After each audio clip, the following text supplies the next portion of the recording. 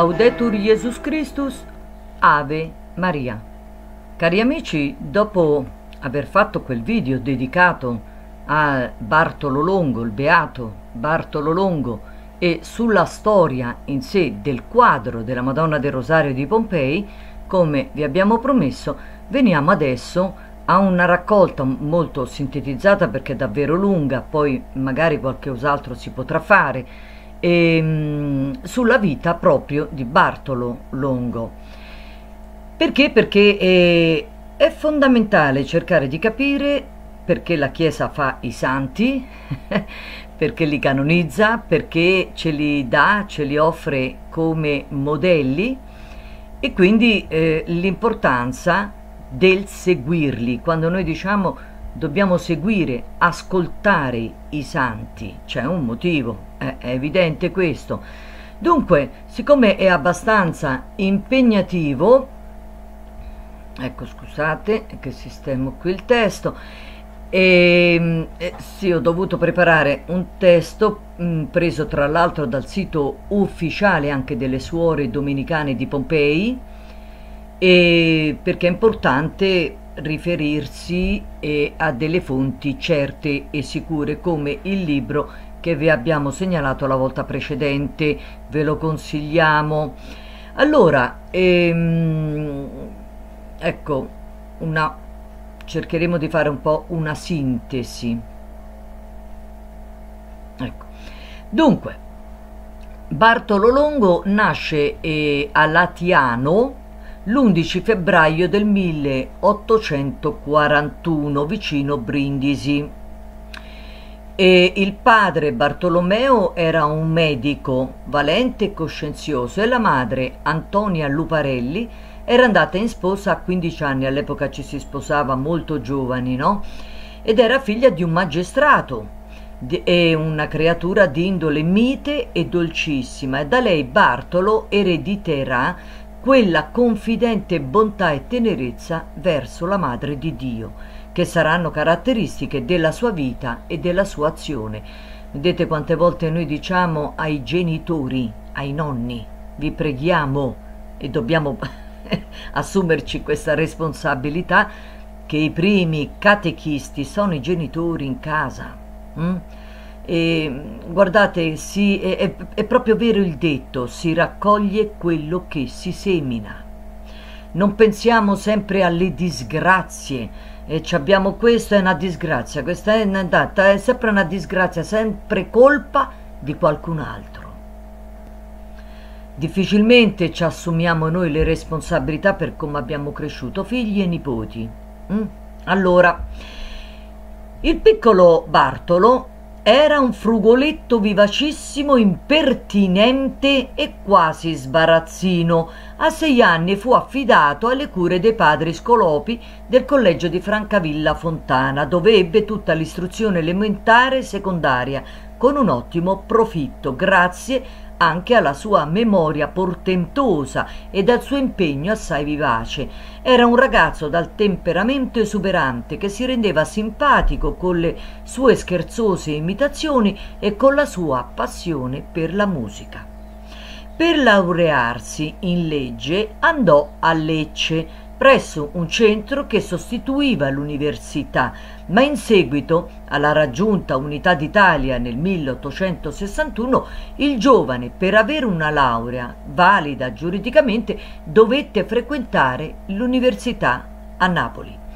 Qui il ventenne Bartolo si trovò immerso in un ciclone anticristiano. Fortissimo, fortissimo, dove razionalismo e anticlericalismo potenziati dalla massoneria lo trascinarono completamente fuori dalla retta via. Noi abbiamo fatto, eh, perché proprio anche di quei tempi, eh, un video sulla mh, mm, eh, statua, eh, sulla mh, mm, erezione della statua dedicata a Giordano Bruno a Roma eh, sotto il pontificato appunto di Leone XIII, quindi gli anni sono questi, dove si evince proprio il lavoro della massoneria, ma talmente allo scoperto, talmente alla luce del sole, che sembra davvero incredibile sì, d'accordo, sono passati due secoli, un secolo e mezzo, ma vi rendete conto? Una cosa allucinante. E, ehm, siamo, ci troviamo proprio eh, davanti a una situazione storica aberrante. Quello che succederà a Roma in quei giorni. Che sto di un secolo fa, mica due, 1890 e qualcosa. E, ehm, andatevi a leggere quello che faceva la massoneria, il governo massone che non si nascondeva dell'essere massoni.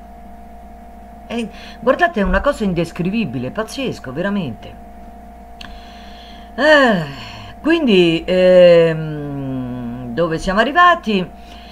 Ecco, egli stesso dirà più tardi, la laurea era appesa all'amo della apostasia.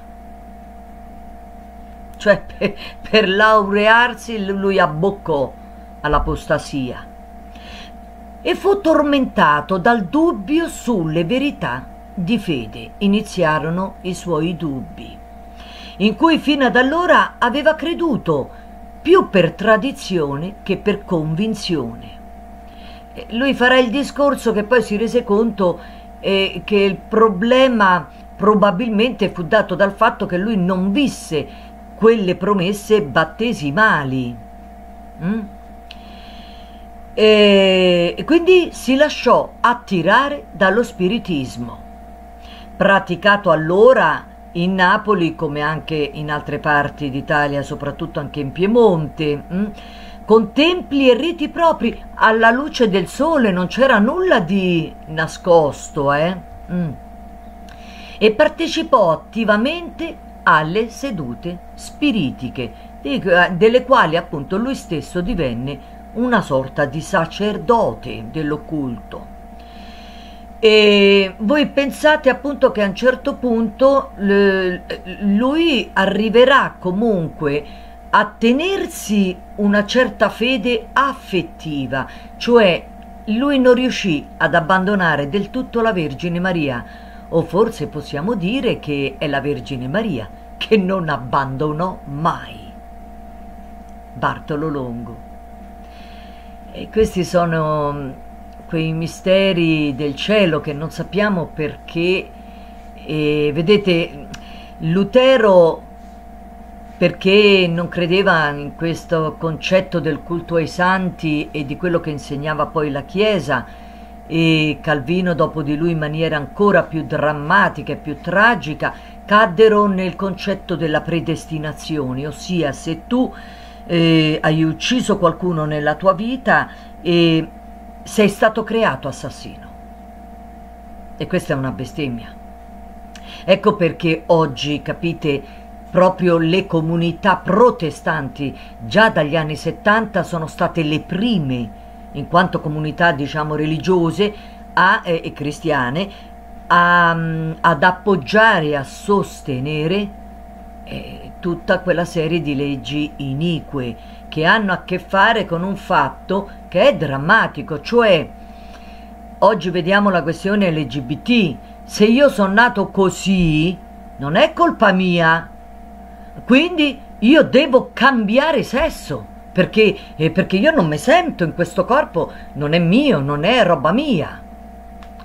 Quindi Dio ha sbagliato a crearci così. Si deve diventare quello che si vuole diventare, ma al di fuori della legge naturale. Anzi, si perverte la legge naturale. Ecco che la nuova antropologia, e questo significa in sostanza eh, eh, capovolgere, stravolgere, eh, falsificare la legge naturale sull'essere umano. Ecco, tutte queste cose hanno un'origine che ha a che vedere purtroppo con l'abbandono della vera fede, soprattutto per i cristiani, perché non vi dimenticate che stiamo parlando di un tempo, l'Ottocento, in cui comunque tutta l'Europa era cristiana. Il problema è che gran parte eh, nelle zone tipo Inghilterra, Germania del Nord, ecco, varie fasce, Purtroppo il cristianesimo era protestantico. non era cattolico.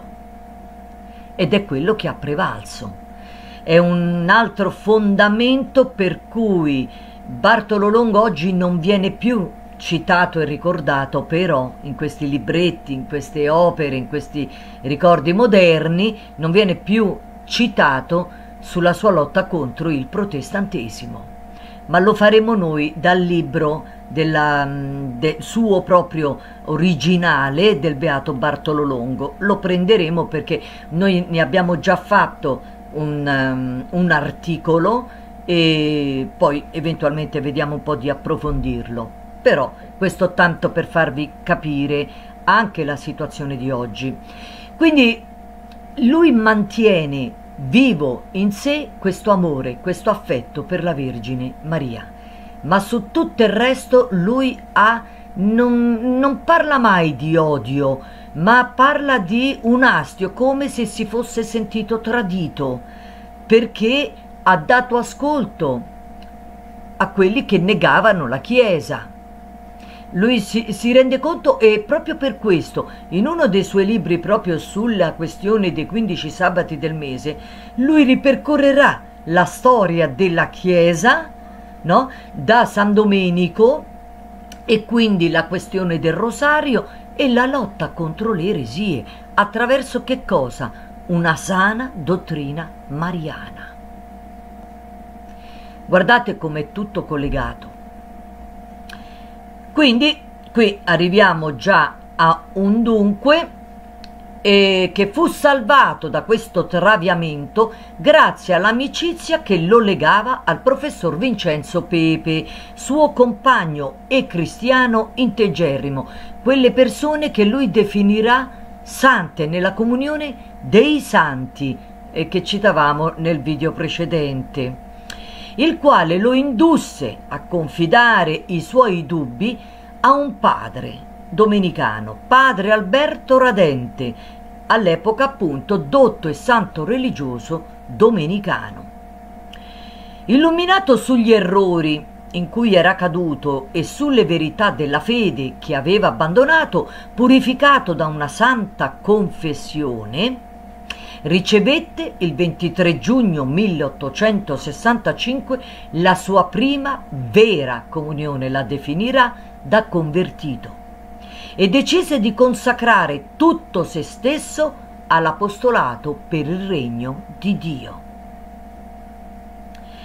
E qui fu guidato dal padre radente e da un confessore, un altro confessore, padre Emanuele Ribera, che era un redentorista. È bellissima questa eh, ecco, comunione anche eh, non solo con un religioso, un francescano, un domenicano, ma nella vita di Bartolo Longo contribuiranno tutti i sacerdoti, la Chiesa, il sacerdote per eccellenza che è maestro di verità.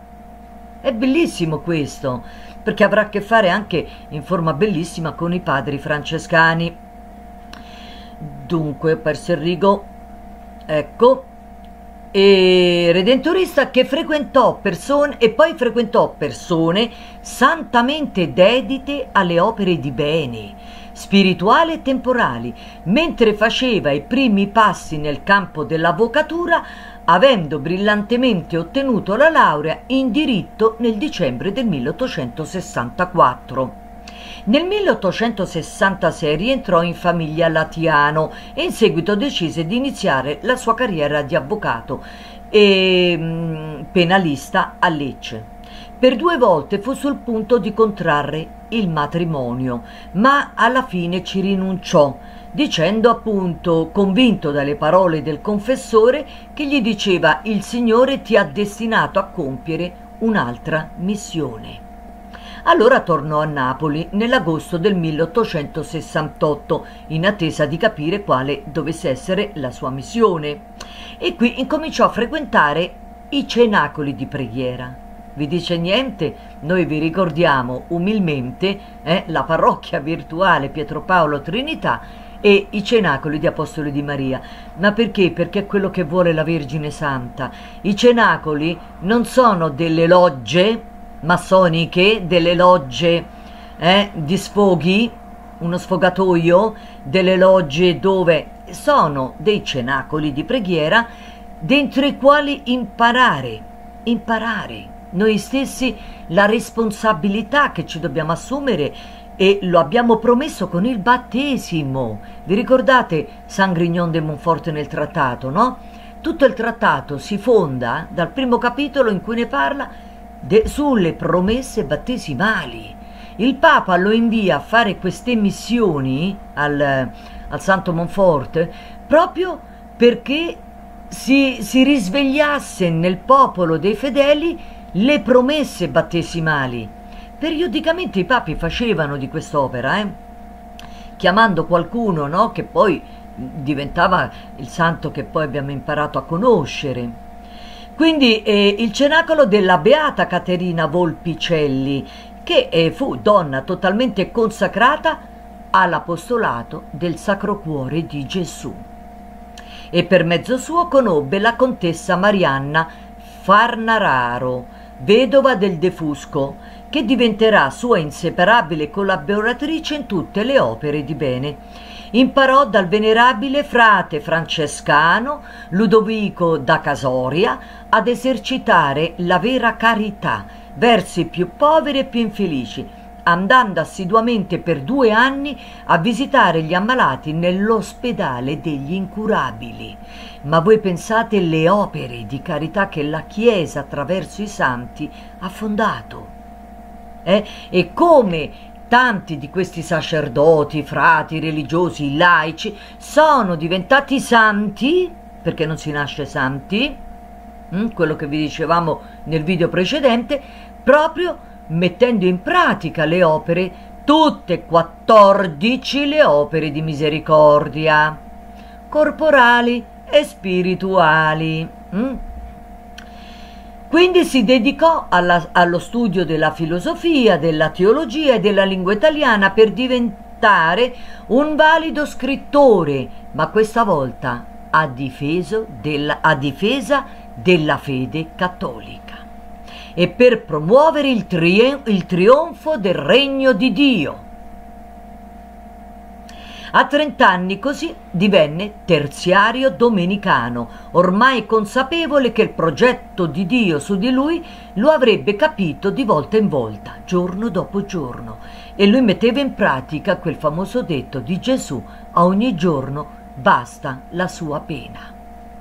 Non vi dimenticate che lui, in quel periodo in cui fu apostata nella massoneria e nello spiritismo, non vi dimenticate che lui prese a odiare proprio i sacerdoti. Mm? Invece da loro con la conversione lui non farà nulla che non venga approvato dai suoi confessori, dai suoi padri spirituali, dal Papa. Il segno della vera sottomissione. Infatti nell'autunno del 1872, assumendosi l'onere di amministratore per le terre possedute dalla vedova De Fusco e assicurare così un futuro sicuro ai suoi cinque figli e della De Fusco, egli si recò per la prima volta a Valle di Pompei con questa espressione, credendo di andare a fare l'avvocato per innovare degli affitti e andava invece per disegno di Dio a fare il missionario dei suoi interessi. Vedete quando noi diciamo tante volte non vi preoccupate, il male non ha mai la ultima parola e se noi quello che dobbiamo fare noi è metterci nelle mani di Dio, ma davvero non a parole. E poi però capito lì di lato mi tengo. No questo però io lo devo fare perché è una mia idea. Io questo lo devo fare perché me l'ha detto lo Spirito Santo. No non funziona. Non è un bottone automatico. Lo Spirito Santo non è un bottone automatico. È la terza persona della Santissima Trinità alla quale, con la quale noi ci relazioniamo, certo con la disposizione mentale no, e spirituale del nostro cuore, ma anche attraverso il sì e il no dei confessori. Tutto deve passare attraverso i sacerdoti. Vi ricordiamo anche l'esperienza dolorosissima di Santa Margherita Maria Lacoque. Ve lo ricordate? Eh? La sua obbedienza riguardo appunto tutte le cose, le esperienze che lei stava vivendo di queste estasi, ma la stessa Santa Faustina Kowalska, quello che ha passato il Signore che ce la manda una, due, tre, quattro volte e questi continuano a dire, eh, la superiora che continua a dire no, non lo fai. E lei, Signore, mi ha detto di no e tu domani rivacci. Ma come se... Tu non ti per qua. Cioè, il Signore vuole saggiare la nostra obbedienza.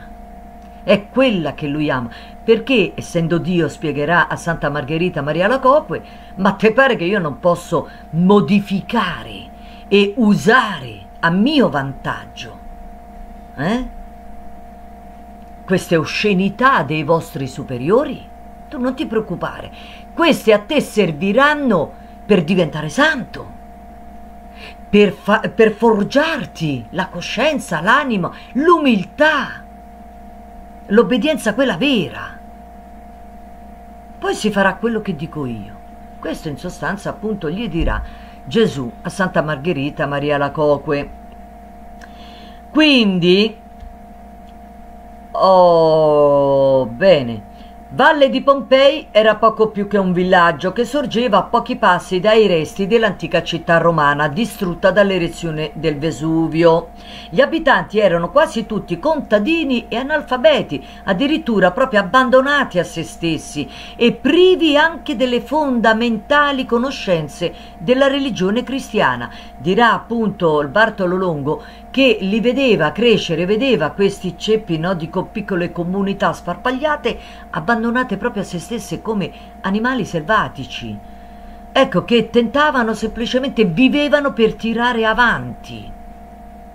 E questo eh, gli fece davvero pena, perché vedeva che il vero tesoro non era nemmeno la sua laurea in avvocato, ma era la fede, che l'aveva tra l'altro salvato aveva salvato lui stesso, quindi tanta miseria e tanta ignoranza sco scossero profondamente il giovane convertito che si sentiva impotente però davanti a simili situazioni e indegno a causa proprio del suo passato a servire Dio come avrebbe desiderato. Ecco, questa è una tentazione. Siccome io sono stato lo schifo che sono stato in passato, Dio non può servirsi di me. Eccolo lì il peccato di Giuda.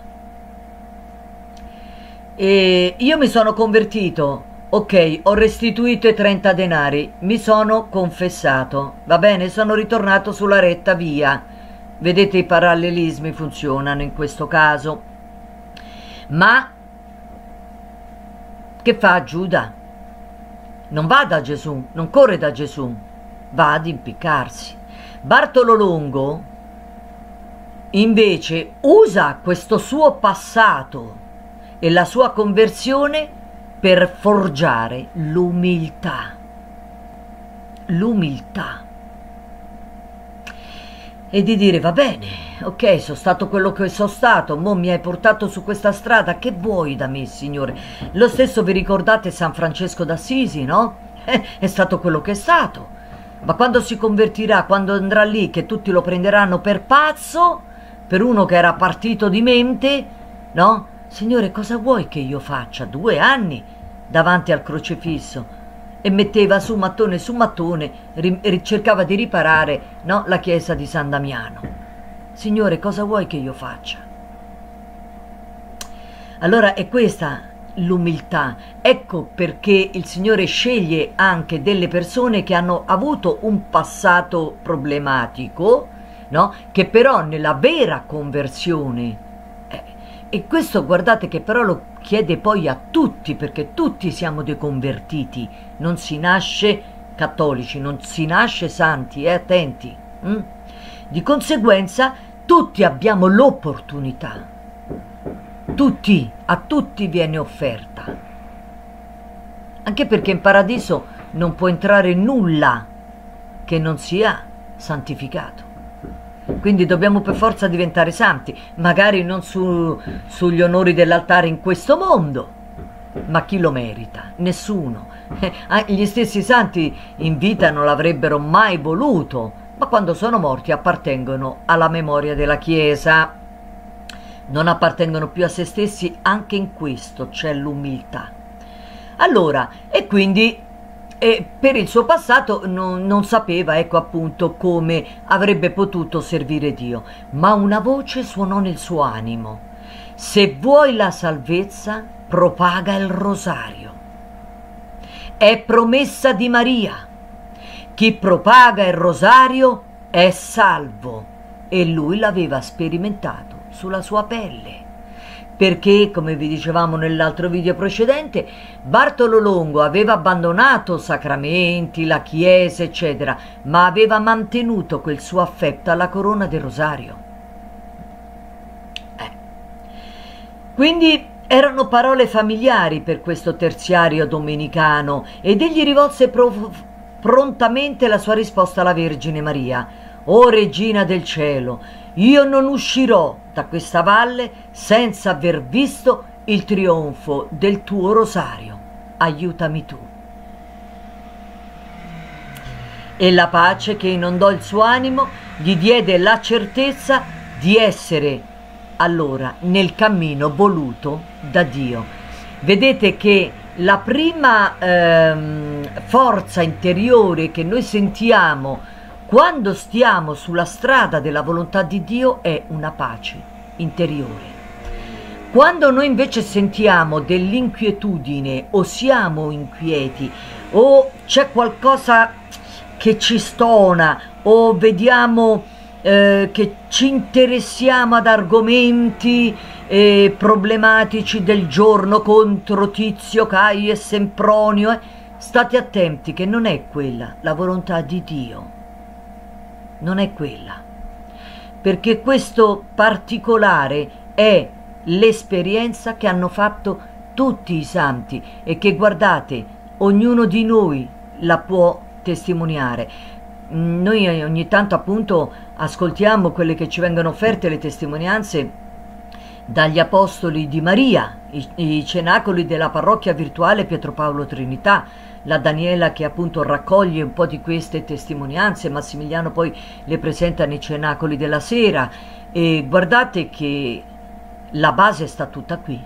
Anche in loro, in queste testimonianze, la base è questa, è quella pace interiore, quella pace però per la quale, se vi ricordate, dice Gesù, è la mia pace, non come quella che il mondo vi dà.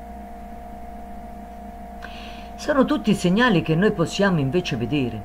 Dunque si mise subito all'opera, visitando le famiglie, istruendo sul catechismo, invitando alla recita del rosario ed organizzando feste popolari a sfondo religioso.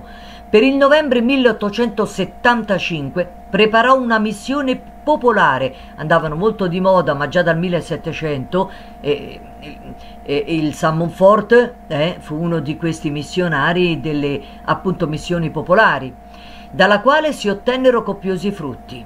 E diceva, tutti si riconciliarono con Dio, composero le liti e molti si aggregarono alla confraternita di Maria. Si udiva la sera per la campagna risuonare il dolce saluto a Maria. Vi ricordiamo che le giornate all'epoca non erano scandite né dall'ora legale né dalla tv né dalla fine, erano scandite dal tramonto del sole. Quando il sole tramontava, iniziava il suo declino, hm, si faceva l'Angelus, e si cantava il Magnificat. Eh, e si faceva il rosario. Quindi, proprio in questa occasione, egli si recò a Napoli per acquistare appunto il quadro della Madonna del Rosario di cui vi abbiamo già raccontato nel video precedente. Negli anni della costruzione poi del santuario era avvenuto anche il matrimonio tra l'avvocato e la contessa, su invito dello stesso Papa Leone XIII, che in un'udienza a loro accordata gli consegnò a tale passo per mettere a tacere le calunnie e le dicerie che si, si andavano eh, dicendo sul loro conto. e commentava la contessa, siamo andati a Roma amici, ne siamo tornati sposi. Però attenzione, perché anche il processo stesso di beatificazione ha riportato che entrambi i coniugi erano concordi, furono concordi nell'affermare che il loro matrimonio doveva essere verginale.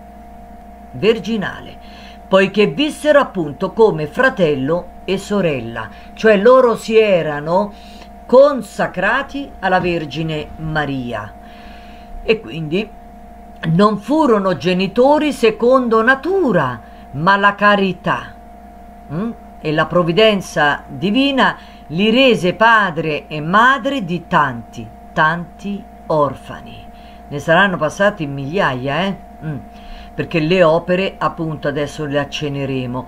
Nel 1887 fondarono l'orfanatrofio, eh, l'orfanotrofio femminile e la Vergine Santa del Rosario compiva prodigi per aiutarli a nutrire quelle sue creature predilette, cioè si arrivava la mattina che non sapevano che cosa mettere in tavola. A pranzo era tutto apparecchiato. O bussavano, arrivava qualcosa, non mancava mai il cibo. Mm? Per esse l'avvocato fondò poi l'istituto delle suore domenicane figlie del Rosario di Pompei, perché emulassero Santa Caterina da Siena quale spose di Gesù e curassero le bambine come figli col cuore della sua mamma. Fu così un laico a dettare regole per la prima volta a delle suore. Questa è un'altra piccola curiosità molto interessante poi il, eh, questa eh, congregazione delle suore domenicane di Pompei, ancora grazie a Dio fiorente e operante, e fu subito poi approvata anche dall'ordine domenicano e quindi eh, fatta entrare nella famiglia domenicana riconosciuta. Nel 1891 sorse anche l'ospizio Bartolo Longo per accogliere i figli dei carcerati. Vi risulta un'opera statale che si sia mai occupato dei figli dei carcerati? Punto. Affinché potessero crescere in un ambiente gioioso, sereno, e sviluppare armonicamente la loro mente il loro cuore nel cuore di Gesù e Maria, per alleviare le loro sofferenze e la mancanza dei propri genitori. Dunque nella nuova Pompei che sorgeva l'avvocato fece costruire gli impianti del primo telegrafo e l'ufficio postale, insomma la nuova Pompei diventò un centro modernissimo. Case per i suoi operai, asili per l'infanzia. Il santuario non fu affatto una cattedrale nel deserto, ma il cuore che dava vita a una prodigiosa serie di attività di bene, a servizio della quale mise il suo talento di scrittore diede inizio al periodico Il Rosario e la Nuova Pompei, che arrivò in tutto il mondo per far conoscere appunto le meraviglie operate dalla Vergine in quella terra di lacrime, nella valle di lacrime, no? E, e poi 15 sabati per accendere in migliaia di fedeli la devozione alla Madonna del Santo Rosario e numerose altre pubblicazioni Maria, che illustravano le glorie di Maria, incitavano alla preghiera e specialmente alla diffusione del Santo Rosario e difendevano e spiegavano le verità della fede combattute dall'incredulità del suo tempo.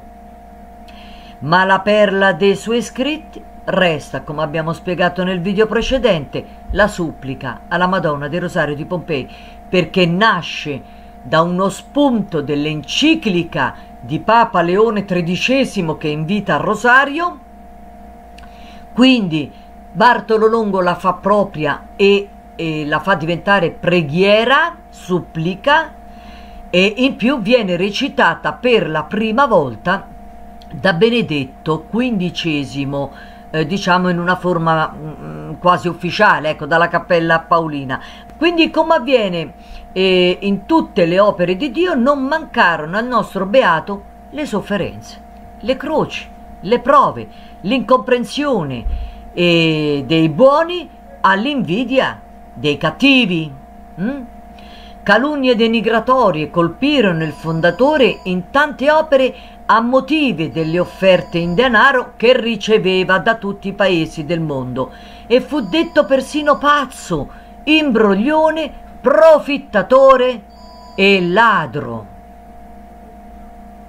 Nel 1893 aveva donato a Papa Leone XIII il santuario, portò proprio il modellino come vi dicemmo, il santuario con tutti gli arredi e gli oggetti preziosi tutto, gli donò tutto, portò lì, è roba vostra, è della Chiesa. Mamma mia, a me questo gesto mi ha sempre commosso, eh. E ho perso un rigo. Ecco, l'anno seguente, quindi nel 1893, l'anno seguente, 1894, il Papa lo dichiarava santuario pontificio ponendolo sotto il governo della Santa Sede, ma lasciandone al fondatore l'amministrazione. Le insinuazioni malevole nulla poterono finché visse Leone XIII, che lo stimava grandemente, ma ebbero buon gioco purtroppo sotto il suo successore Papa Pio X che all'inizio fu male informato dai nemici subdoli ed accaniti hm? e purtroppo venne giudicato quasi un ladro. Boccone più amaro non poteva toccare a quel fedele servitore di Maria, che però lui lo interpretò come eh, un pareggio, cioè lui aveva denigrato in fondo i pontefici, lui aveva denigrato la Chiesa, lui aveva predicato, parlato contro la Chiesa, lui aveva fatto il culto a Satana contro la Chiesa. Quindi Bartolo Longo sentì che certo ci rimase male, boccone amaro, tutto quanto, poi capirà un papa come Pio X, però è un po' quello che successe no, con eh, il povero padre Pio, che i papi malinformati, quello e quell'altro, eh, eh, giudicarono Padre Pio eh, malamente, no? E purtroppo sotto le bugie mh, hm, eh, di padre, eh, come si chiamava, ma adesso non mi viene il nome, il francescano, insomma che mh, hm, doveva occuparsi di questa parte delle, delle stigmate ed altro. E, ma sono prove che il Signore manda. Bartolo Longo lo capisce, intuisce che tutto sommato il male che aveva fatto lui alla Chiesa, adesso lui lo sentiva sulla sua pelle. E poteva capire quanto fanno male le calunnie. Ecco. Allora i coniugi posero fine a questa triste storia delle calunnie con una generosità incondizionata. Nel 1906 rinunziarono, rinunziarono a favore della Santa Sede a tutte le opere di fede e di carità da loro fondate a Valle di Pompei. Bartolo Longo divenne l'eremita della valle, l'eremita di Maria, e strinse più forte la corona del rosario e impegnò maggiormente la penna, ma a prezzo di quale sua sofferenza interiore è facile intuire. Dunque un sogno gli restava da realizzare, dare anche alle figlie dei carcerati appunto un rifugio sicuro.